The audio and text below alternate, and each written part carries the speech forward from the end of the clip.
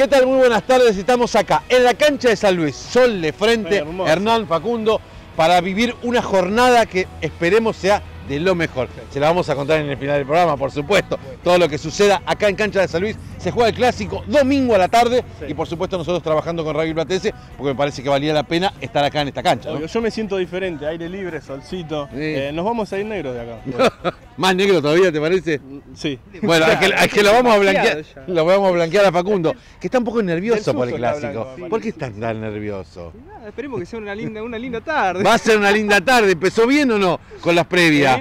Exactamente. Sí, te- preintermedias, color, todas, todas ganaron. Hasta ahora San Luis ganó en todas las categorías. Sí. Pre-A, Pre-B, Pre-C y ahí la Inter está jugando el primer tiempo 28. Pero bueno, hay que ver. Hay que ver, hay que ver la primera. Bueno, está nervioso el muchacho, no puede, no puede, no puede coordinar, ¿viste? Pero bueno, muchísima gente, eh, la comisión directiva de los dos equipos reunida acá, la verdad que eh, muchísimo público que está eh, llegando todavía y que está colapsado el, el estacionamiento. Vos sabés Sí. que le pidieron a la gente los tilos Obvio. que abrieran el estacionamiento. Y, y no solo clásico, porque hoy tenemos un programón, porque Sí. estuvimos en todos lados. Estuvo Facu en la cancha de universitario, también cubriendo el partido. Estuvimos en Vélez para el partido de los Jaguares, así que hoy se viene con todo. Y para el final tal vez tengamos una sorpresa. Después se lo vamos a decir. Ah, Vamos a ver una, una nota sorpresa, pero estate atento que vamos a estar ahí. Lo que sí empecemos a hablar con el torneo de la urba, porque se jugó ayer el torneo de la urba, eh, y la verdad que eh, con resultados muy buenos para los equipos de primera división. Sí, porque ganó los Tilos, cortó una racha eh, de, tres derrotas, eh, ganó un buen partido, 30-18 jugando local eh, contra Viey, en un segundo tiempo donde eh, cambió la cara a los Tilos porque en el primer tiempo no le ha ido bien. No, 15-3 perdió el primer Sí, tiempo. perdió 15-3 eh, el primer tiempo, solamente un penal de Juan Sarasola, pero en el segundo eh, cambió la mentalidad y lo pudo ganar. Mirá Bueno, se escucha, mira qué pasa atrás. Todo el equipo de La Plata que está pasando en este momento, que ingresa, va a hacer los movimientos precompetitivos para ingresar al campo de juego en la cancha número uno del Club San Luis. También ganó eh, Universitario, que ahora lo vamos a charlar. ¿Y Albatros qué pasó? Perdió Albatros, pero fue rarísimo. Sí. Lo decíamos recién, cambió en el entretiempo a favor de los Tilos, en el entretiempo cambió eh, en contra de Albatros, que había terminado ganando 26 a 10 el primer tiempo. Bien, Te- 16 puntos le había sacado y nada. Tenía bonus ofensivo en la primera parte, en el segundo el Liceo Militar dijo no podemos perder el local y terminó ganando 45 a 34. Una verdadera lástima porque tuvo una racha del invicto, le sacó el invicto. Eh, Albatros venía, venía invicto. Sí. Pero bueno, eh, son cosas que pasan. Berizzo también. No caso. volvió a perder otra vez por una diferencia de 30 puntos, eh, así que bueno, ahora tendrá la semana que viene que jugar contra el más fuerte para ver si de a poco puede empezar a cambiar el rumbo. Bueno, ¿les parece que empecemos este programa compartiendo todo lo que hicieron los muchachos Rodrigo y compañía con Facundo ahí en la cancha de la U, la previa de este partido de gimnasia frente a Universitario?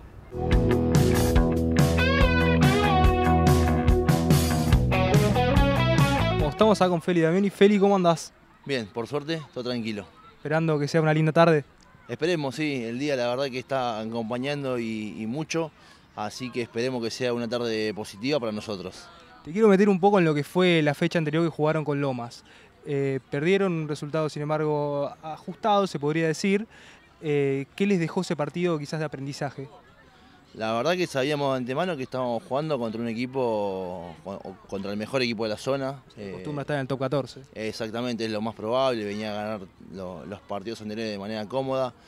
Eh, por ahí pecamos un poquito de, de inexperiencia, eh, los primeros 25 30 minutos los tuvimos en, en el campo de ellos, no pudimos marcar ningún punto y ellos ace- aceleraron dos o tres veces y, y faltando 10 minutos nos meten dos try y después ya con el resultado 14 a 0 es muy difícil de Cuesta remon- arriba. Ah, se hizo muy difícil remontarlo. Eh, igual después viendo y analizando el video nos fuimos conformes con el sabor amargo por ahí de no haber rescatado ni siquiera un punto. Bueno, eso te iba a preguntar, justo lo dijiste vos, anali- analizaron el video en esta semana. ¿Qué errores vieron y para, bueno, ahora justamente juegan con Geva para corregirlos? Tuvimos algunos errores en, lo que fue la, definición dentro de las, de las 22 yardas contrarias. Nos quedamos tranquilos porque tanto con los Tilos como con Lomas, no así con San Martín en la primera fecha, in- intentamos eh, plasmar en, la cancha lo que estábamos entrenando. Así que desde, ese punto no- nos quedamos tranquilos, intentamos mucho, salieron muchos movimientos eh, lindos que practicamos. Pero bueno, le decía, eh, fallamos en la tocada final y, y contra equipos eh, fuertes después y lo terminas pagando. Eh, Geva viene de perder todos los, todas las fechas hasta ahora. Eh, ¿Cómo eso lo vieron? ¿Lo estuvieron analizando? ¿Analizaron el rival? Sí, miramos siempre, todas las semanas miramos un poquito de, de- de lo que hace el rival, eh, desde formaciones fijas, movimientos, line, scrum. Que haya perdido, la verdad, los tres partidos es una zona muy, muy competitiva, me parece, salvo dos, dos, tres equipos que se pueden llegar a cortar arriba. Después cualquiera puede ganar con cualquiera o perder con cualquiera. Así que lo mismo le está pasando por ahí a los Tilos. Los Tilos perdió los tres partidos y es un equipo que tranquilamente puede ya andar entre los cuatro o cinco primeros de la zona sin problema. Eh, entonces me parece que haya perdido los tres partidos, por ahí pueden llegar un poquito con la cabeza abajo, eso tendríamos que aprovecharlo nosotros, ¿sí? en, más que nada en, lo- en los primeros 25 o 30 minutos del primer tiempo, pero después creo que en, en- en una zona tan pareja no, no quiere decir mucho. ¿Cuál pensás que va a ser la clave para, para la victoria del partido? Y fundamental la, la obtención y la, y la disciplina. Eh, hoy en día si te quedas con, con uno, un jugador menos, con dos jugadores menos, le terminás pagando al ser, al ser equipos tan parejos. Y después la obtención es fundamental. Si no tenés tus- tus pelotas de formaciones fijas, tanto de line como de scrum, eh, es muy difícil después recuperarla y marcar puntos. Bueno, muchas gracias, Feli. Esperemos que se dé de la mejor manera. A ustedes, gracias a ustedes.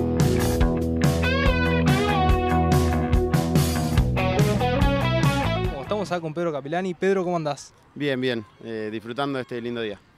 Y ahora van a jugar contra Jeva, lindo día para ganar, ¿o no? Y ojalá, sería buenísimo terminar ganando. Eh, yo lo plantearía más como un lindo día para desarrollar nuestro juego y, y tratar de, de plasmar todo lo que venimos entrenando. Justamente veníamos hablando un poquito fuera del aire que lo que se va a buscar en este partido es que la U pueda hacer su juego. Sí, nuestra idea es hacer nuestro juego. Estuvimos viendo el juego de Geva. La idea es trabajar sobre sus debilidades, pero sin irnos de lo que es nuestro plan de juego. ¿Qué, qué debilidades estuvieron ahí explorando? Quizás abrir un poquito más la pelota. Y sabemos que son muy fuertes, muy grandotes. Eh, pegado a las formaciones va a ser complicado, pero eh, pudimos ver que si jugamos un poco por afuera y con buenas carreras de ataque podemos llegar a lastimar. Quizás con pelotas rápidas. Sí, nues- nuestro fuerte por ahí es eh, jugar con pelotas rápidas y adentro de la defensa, así que es lo que vamos a intentar. Jeva viene de perder hasta ahora todos los partidos. Así que te lo repito, lindo día para ganar o no. Sí, a ver, eso por ahí no dice mucho, pero nada, nosotros confiamos en nuestro juego. eh, si bien nosotros ganamos un solo partido, estamos Sí. jugando bien. ¿Y qué partido? Eh, la verdad fue un lindo partido haber ganado ese, pero nada, queremos jugar, queremos ganar obviamente eh, y sumar, que, que es importante. Y ahora te quiero meter un poco en lo que fue la fecha anterior con Lomas. Un equipo que está acostumbrado generalmente a estar entre el, el top 14, entre los mejores, eh, fue complicado. ¿Qué vieron a partir de, que, de la derrota? Eh, ¿Qué errores a, me- a me- a mejorar? Mira, la verdad que ese partido fue, como vos decís, eh, Lomas es un equipo muy, muy bueno. Fue superior a nosotros, la verdad que no- nos ganó, eh, nos ganó bien. Nosotros no jugamos mal, pero sí tenemos que mejorar en el tema de, de lo que es marcación de puntos. Tuvimos dos o tres posibilidades y no las aprovechamos. Y con equipos de esta zona, si no las aprovechás, se te va a hacer muy difícil ganar. Ahora que van a hacer, llegan a sus 22, penal y ¿qué hacen?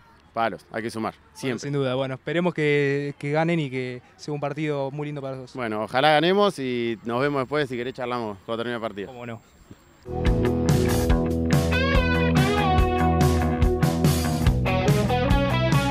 Bueno, le agradecemos mucho a los jugadores de eh, Universitario que se prestaron la previa, por supuesto, a charlar con Rodrigo y con vos, en este caso a Pedro Capelani y a Felipe Damiani. Pero Pedro además hizo una promesa. ¿Te hizo? Hizo una promesa, dijo que si me dijo así, si yo hoy mojo, Sí. me dijo, me afeito.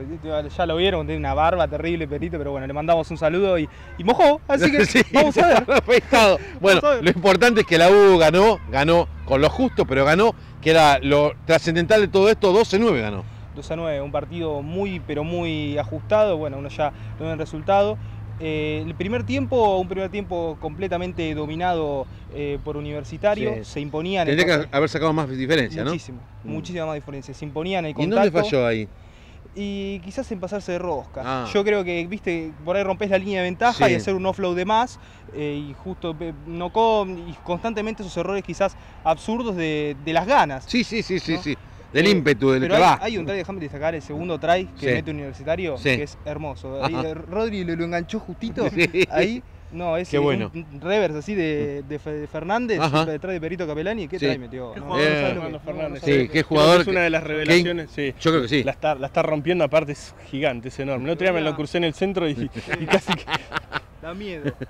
Bueno, por supuesto. Bueno, lo importante es que ganó Sí. eh, y con- contra un equipo muy difícil porque no había sacado ningún punto, tenía la obligación. ¿no? Exacto, Geva no había sacado ningún punto en lo que venía del torneo, por lo que a priori iba a ser un partido accesible, pero creo que eh, el punto, la nota a corregir va a ser eso, un equipo que venía eh, de abajo sin puntos, igualmente lo terminó complicando a Universitario, así que creo que van a tener que tener un llamado de atención porque le está costando en cuanto al rendimiento.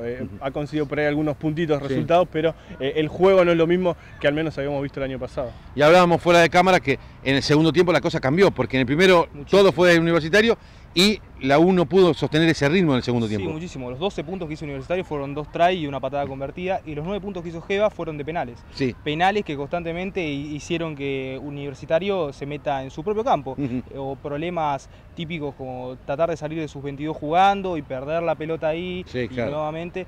Geva quizás con no un juego vistoso, eh, con, una, complicó. con una, Sí. una presión, eh, básicamente era darle la pelota al rival y presionarlo.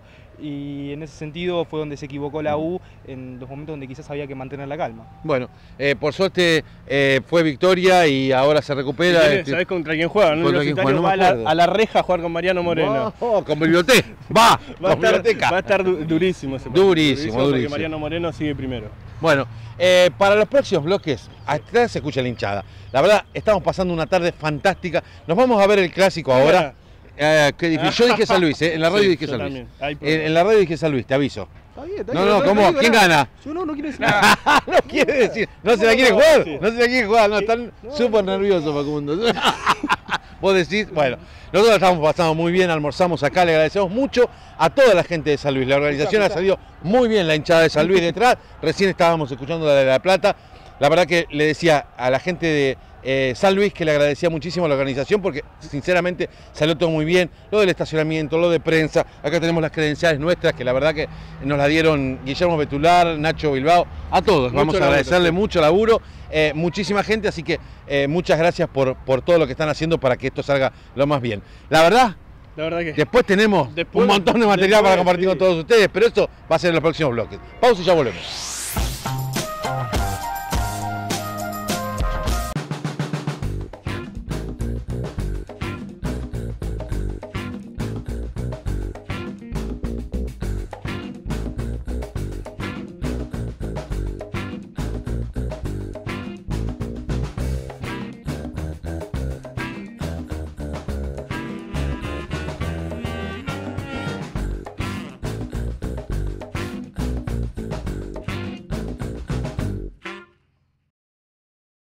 Vamos camino hacia la ciudad que estabas esperando. Por eso, ahora tenemos el sistema más moderno de monitoreo y vigilancia hidrometeorológico de la Argentina. Vamos a conocer los niveles de los arroyos e identificar las crecidas, conociendo la cantidad e intensidad de las precipitaciones. Prevenir es hacer. La Plata, juntos en todo.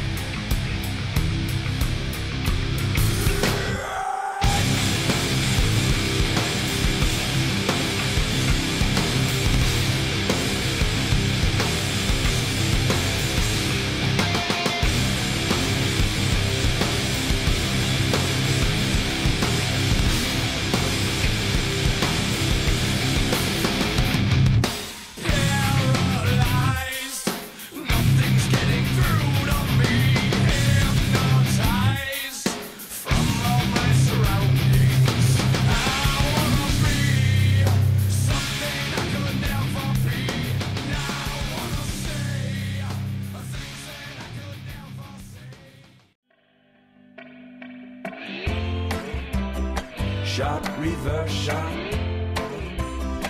Look what the other got. Shot, reverse shot.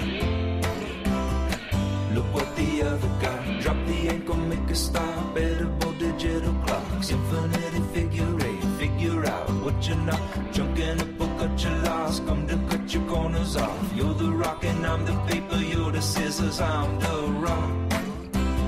Shot,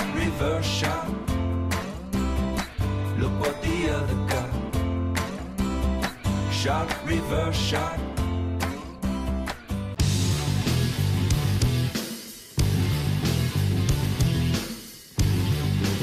Aquí está al aire en eh, Radio Cantilo desde Picurva. Nuevas voces, mucha más música, mucha más radio. Soy Gustavo Olmedo en Radio Cantilo 1019. Nuevas voces, Radio Cantilo, primero la música. Lanzamos la nueva programación de Radio Cantilo. Hola loquines, soy el gallo Santiago Blugerman. Vamos a estar haciendo Hagan correr la voz. Hay nueva programación en Radio Cantilo. Mucha radio, mucha música. Escuchanos en todo el mundo en radiocantilo.com. Radio, de otra manera, desde Citybel para el mundo. Radio Cantilo 1019. Llévanos a donde quieras. radiocantilo.com.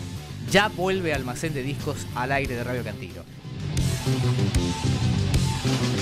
Llega Juan Di Natale con lo artesanal. Sos grosso, sos grosso.